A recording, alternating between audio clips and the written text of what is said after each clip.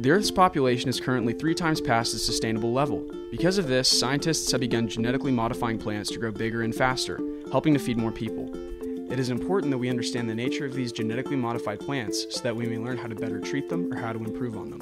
If you've ever taken a biology course, you probably know that ATP is an important molecule that provides energy for a cell. But researchers have recently found that ATP is also a signaling molecule, coordinating many processes from heart beating to plant growth.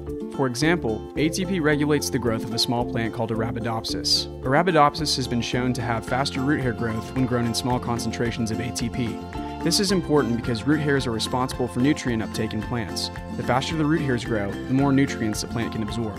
This summer, I researched Arabidopsis root hairs and how they interact with ATP. In my research, I studied two mutant Arabidopsis seedlings, one called DM and the other called PS.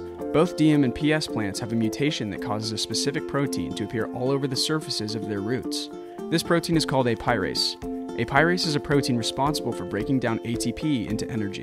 These DM and PS mutant plants have been shown to grow faster and larger than ordinary Arabidopsis. I wanted to see if this was because mutant root hairs grow quickly and if ATP could make the root hairs grow even faster. In my experiments, I grew DM and PS seeds for a week and then separately placed them into empty plates and plates with varying levels of ATP. After the seedlings had grown in these plates for an hour, I measured all of the root hair growth rates.